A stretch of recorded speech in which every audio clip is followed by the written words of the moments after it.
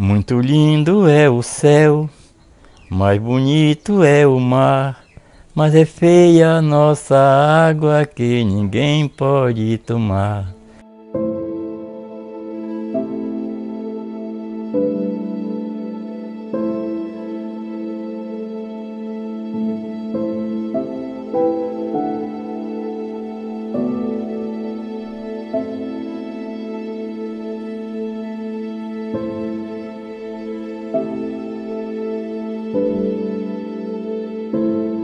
Nós fomos na primeira visita lá em Trombetas. Quando eu vi aquela quantidade de tanque de rejeito, eu fiquei assustada quando eu vi aquilo. Eu acredito que uma vez rompendo uma daquelas, daquelas tanques de rejeito lá, barragem, nós nunca mais vamos poder viver aqui nesse lugar. Boa Noite Saracá são duas comunidades que estão na foz do Igarapé Saracá, né, que é um igarapé que vem do sistema de rejeitos da mineração. Temos Saracá e Boa Nova hoje na frente desse problema. Estão considerando, mas são 16 comunidades. Que 3 mil pessoas que tem dentro desse lago, se acontecer um acidente desse, vão embora.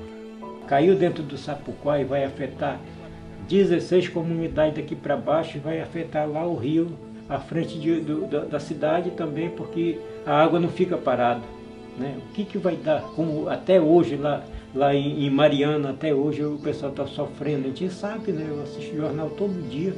E eles garantiram para a população, assim como a mineração vem aqui com nós e diz, que é seguro, que eles estão acompanhando. E a grande preocupação é que nós não temos nenhum documento, nada por escrito, se vir acontecer, o que vão fazer com nós daqui desse local. Ele me respondeu que ele nunca viu empresa nenhuma de mineração assumir compromisso com a comunidade. Aí eu disse para ele: como nós vamos confiar na sua palavra? Quem lhe garante que essa barragem ela nunca vão romper aí?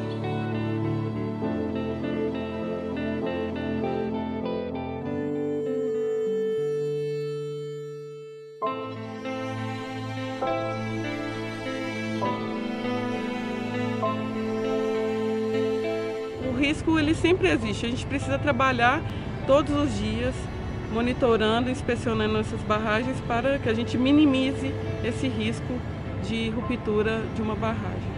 A gente está dentro da flona, a gente está dentro do, da floresta amazônica e se o rejeito ele cair dentro de um igarapé que, tão, que circunda o nosso platô Suracá, vai aumentar a turbidez da água e aumentar a mortandade dos peixes. No verão forte, quando a mineração está operando, é um poeiral de, de, de, de resíduo de minério que sobe, sobe para dentro do mato com tudo. Você vê que quando a água bate lá, ele vai descer no chão e vai mudando tudinho, os igarapé que tem. Aqui era, era um paraíso de água, era lindo demais.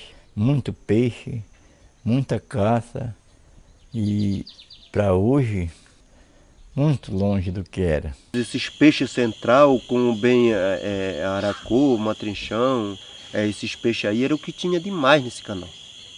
Hoje a gente não vê mais. Eu já até parei de tomar banho no rio, não vou mais, porque coça o nosso corpo quando a gente toma, tem um contato com a água. Essas crianças quase eles morrem de diarreia e vômito. E por isso que eu disse para o presidente da, da mineração, ele não queria fazer o microsistema, não queria, achava que era despesa.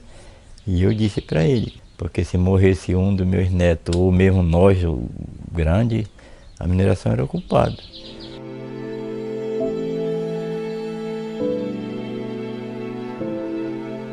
Quem banca esses microsistemas somos nós. Né? Que tira, vamos dizer, a empresa faz impacto nos igarapé e nós temos que tirar dinheiro do nosso bolso para ficar mantendo o microsistema, se nós quiser beber uma água que não quiser usar do igarapé. Depois de a gente bater muito em cima dessa água aí, só, eu acho que só foi resolvido porque eles ficaram com vergonha de aquela foto passear muito longe, né?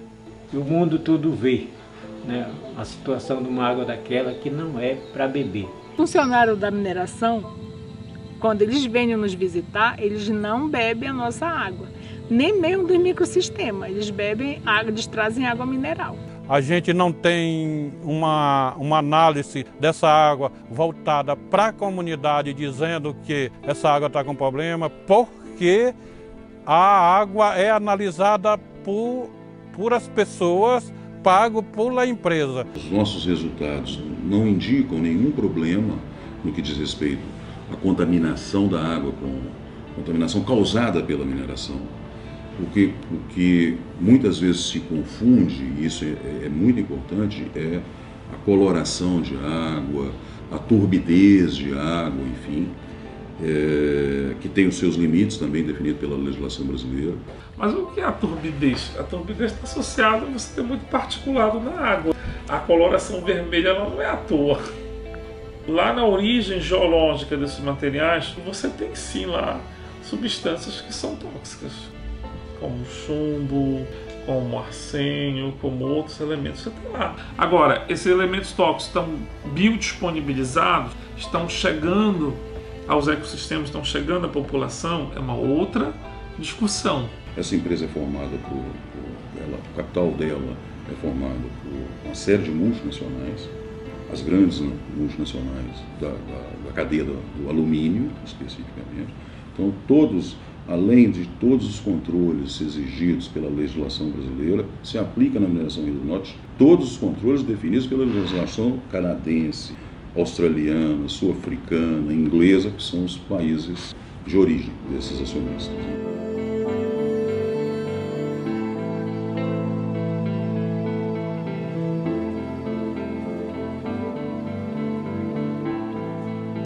Eles mataram a o Almeida, que era um castanhal grande, que tudo ia para lá tirar a castanha.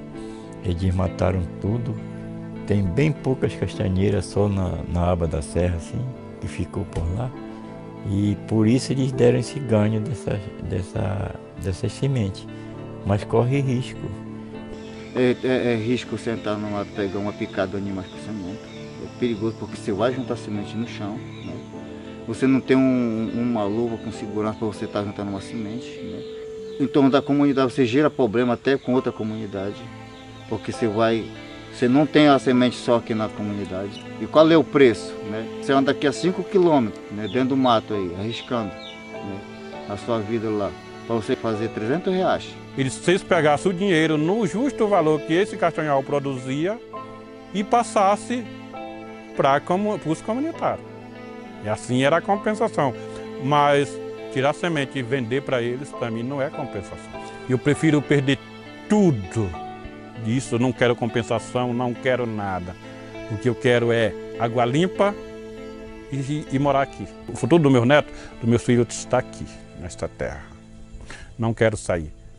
Está na cara, está na vista, a grande poluição da sujeira da bauxita que vem da mineração. Peixe não existe mais, nem sardinha nem pacu. Peixe boi que não se fala, muito mais pirarucu. Agora vamos pra floresta das matas do Araticu. Castanheira não aparece que o, o trator já derrubou.